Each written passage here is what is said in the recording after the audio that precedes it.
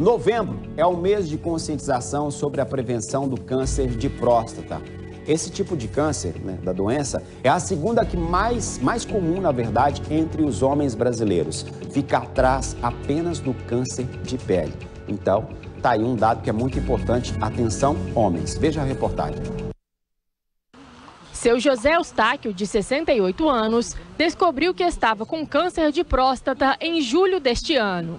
Ele conta que estava urinando muitas vezes à noite, mas em pouca quantidade, e procurou um médico para fazer um check-up. Um dos exames apontou que o aposentado estava com o PSA, nível de proteína no sangue, muito alto.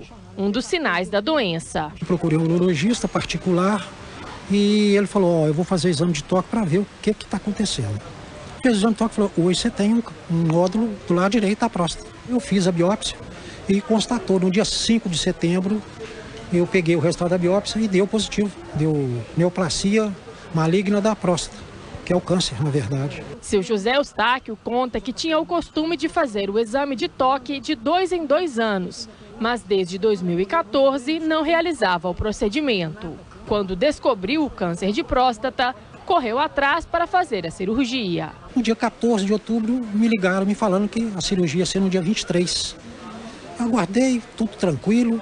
No dia 23 eu cheguei aqui às 7 horas da manhã, fiz a cirurgia, meio-dia e pouco, entrei para a sala cirúrgica, duas e meia eu saí, fui para o quarto, fiquei, passei essa noite. No outro dia pela manhã o doutor Deno esteve lá e falou, eu vou te liberar para você ir para casa. Eu falei, doutor, o senhor que sabe? Ele falou, é, você vai comer arroz, feijão, batata frita e bife. De acordo com o médico que fez a cirurgia do seu José Eustáquio, o exame de toque e o de sangue, que mede o nível do PSA, devem ser feitos pelos homens acima de 50 anos. Se tiver histórico na família, por exemplo, o pai ou irmão, o recomendado é que se vá 10 anos antes, então a partir dos 40 anos de idade.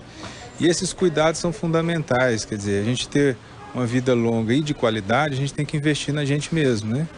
Então, o check-up é uma coisa tão pequena, simples, né? O exame local é um exame bem objetivo, bastante tranquilo e que no futuro traz um resultado muito positivo. Lembrando assim, evitar o cigarro, evitar a obesidade, favorecer a prática de exercício físico, isso tudo é um conjunto, né? No calendário nacional de prevenção, o Novembro Azul é o mês de conscientização sobre a importância dos cuidados com a saúde da população masculina.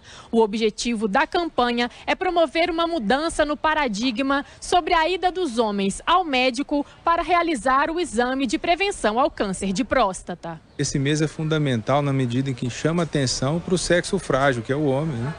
Tem uma expectativa de vida menor, né, tem uma mortalidade maior, está sujeito a alguns tipos de intempéries que a vida acaba proporcionando ao sexo frágil, que é o homem, de maneira que o Novembro Azul vem alertar ou realertar o homem dessa situação. O Novembro Azul é uma campanha que começou na Austrália em 1999. O PSA tem mais de 30 anos. Então não é possível que hoje a gente venha conhecer o PSA. Não, a gente tem que se conhecer conhecer o PSA, fazer o exame local e fazer a diferença na vida da gente e na vida da nossa família, né? O que eu aconselho o sexo masculino que depois dos 50 procure fazer a prevenção porque ele pode ser curado totalmente. Quanto mais tempo ele deixar, pior vai ser para ele. Cidadão consciente, profissional consciente. Prevenção. Não tem que deixar as coisas acontecerem. Falaram 50 anos, mas tem até alguns falam 45. 45. Já começa a fazer os exames. Eu estou chegando na hora, né? Mas tem que fazer a prevenção em qualquer, qualquer doença. Qualquer doença.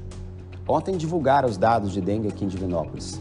A situação está começando a ficar preocupante de novo. Começou a chover, começou a chegar e vão começar a aparecer os casos de dengue.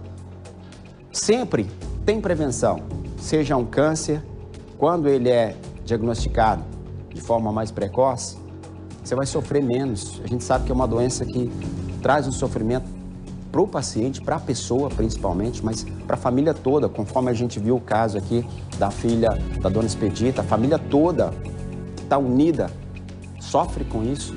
Então tem como evitar. A gente tem que largar essa questão de preconceito, essa bobagem que nós homens temos, né? Temos que largar disso acima de tudo.